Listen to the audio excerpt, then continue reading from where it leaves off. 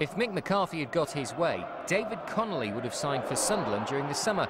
But the Irish striker chose to join Leicester and he very nearly showed the Black Cats what they were missing in the first half at the Walkers Stadium. Forward for Stephen Elliott. Nice bit of footwork there from Elliott. Looking to find the shot. Couldn't find the power, though, to worry Kevin Pressman. Arca's throw. Nice bounce there for Brown. And Pressman responds really well to deal with that one from Chris Brown. Whitehead's corner. It's in the goal! And it's Stephen Caldwell! The big defender comes forward and got to the corner first. Plenty of height for Whitehead.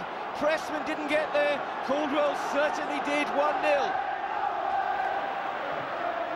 Decent ball in there for Jamie Scowcroft to fling himself at. Just sailed wide. Myhre shows the way to take those corners, no problem at all. And he's rolled that one out smartly for Chris Brown, who come back deep. Brown full of running, really full of running.